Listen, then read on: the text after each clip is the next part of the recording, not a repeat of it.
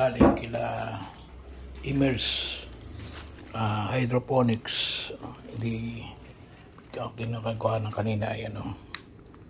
Ah, mainit. Kapag daw mainit ay mapait. So, medyo madumi pala yung aking ano. Aking yun oh. Ito po ano ito pa ay dapat daw ay mga 5 days pa so tingnan natin oh.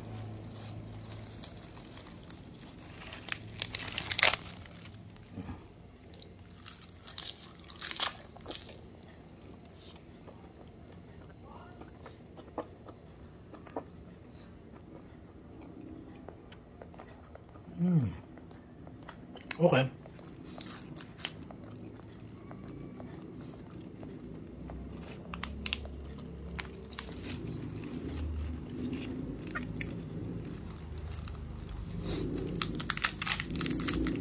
Tutong ano?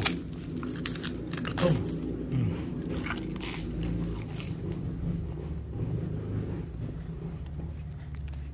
Sabi din daw kapag medyo mapait, pwede rin ilagay sa tubig.